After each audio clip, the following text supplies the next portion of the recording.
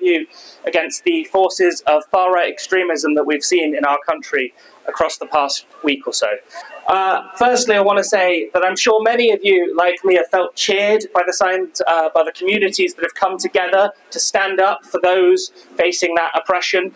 Uh, we know that communities have been facing oppression on the basis of their race, their religion, and we need to stand together collectively to say that we will not tolerate that. We are all better when we are united and we stand up for one another. So thank you all for being here and for helping to put that pressure. It is communities that defeated the far right on Wednesday and we need to keep that going. Because I'm afraid, everyone, we can't rest on our laurels here. This is not a moment for complacency. I know that many people in this city and this country still feel afraid to leave their houses, feel afraid to walk the streets because of the colour of their skin, because of who they are. And that is wrong and we need to keep standing together and keep making it clear that fascists will not succeed here, that we will stand together united. Now, thank you.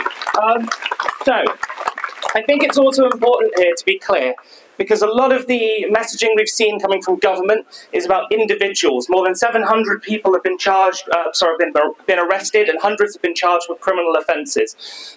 But to focus on the individual is to miss the root causes of the problems that we're seeing. The problems that we're seeing across our society come from politicians and the media and the way in which they have talked about people seeking sanctuary. We have, we have allowed politicians to get away time and again with framing refugees seeking sanctuary as illegal migrants, framing them as a problem, not as people seeking sanctuary who we have a duty legally and morally to protect. And I'm sorry, but this does go for all political parties.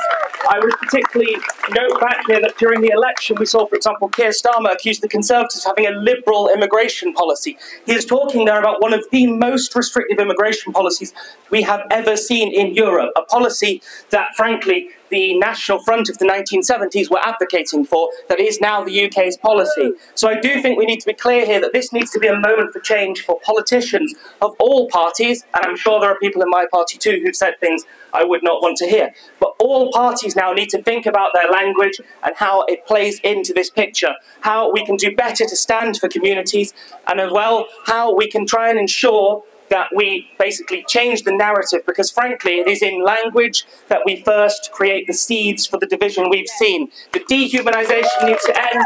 Solidarity to all of you. Thank you so much for being here and um, yeah, thank you so much.